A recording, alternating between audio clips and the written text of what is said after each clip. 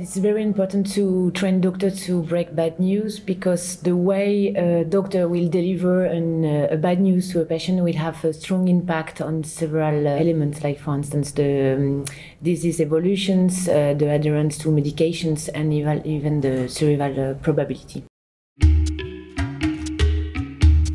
Now the doctors uh, train to break bad news through workshop um, provided by medical institution but there is few workshop and it's uh, costly and time consuming because um, they pay actors to play the role of uh, patients. So the ACORFORMed platform the virtual reality training platform uh, will have the advantage to give the possibility to uh, a lot of doctors to break bad news uh, through this virtual reality setup with um, virtual patients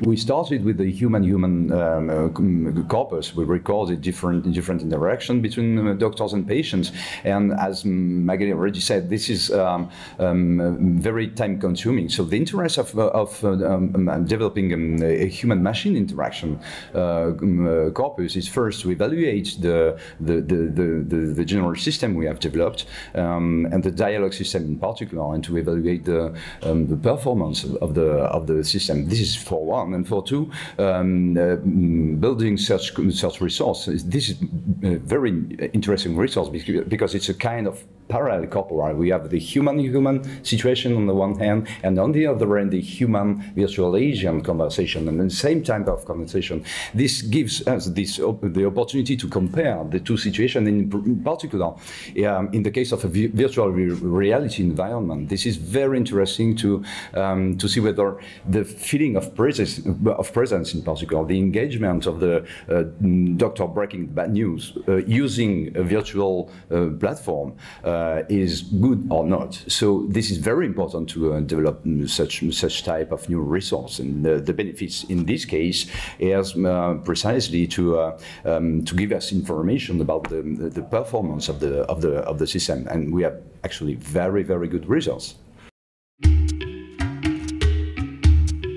Clarin is um, obviously very, very, very important, in particular in terms of data um, centralization and diffusion and dissemination. So we um, we have developed, we have created a lot of different resources, a lot of different corpora, a lot of different movies, and all of them are available through the the French Ortolang uh, data warehouse, uh, which is member, uh, which is part of the Clarin general Clarin environment. So this is very important. This is also very important in an open open science uh, perspective because we want to have these uh, different corpora, these different data shared um, because um, it could give the possibility to um, to have uh, different approaches to the same problem within the same environment and studying differently with the different approaches or different annotation, for example.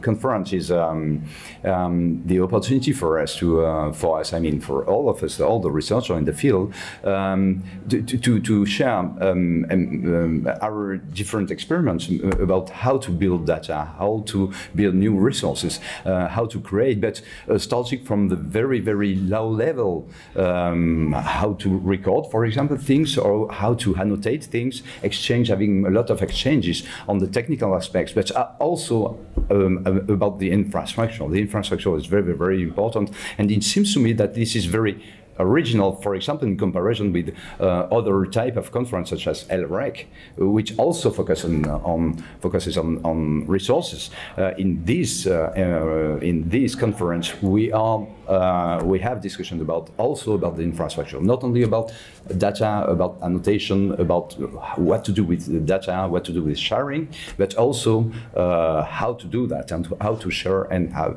Again, this, this is to me very important. In again, in a very um, specific perspective of open science, for example, sharing is definitely very very important.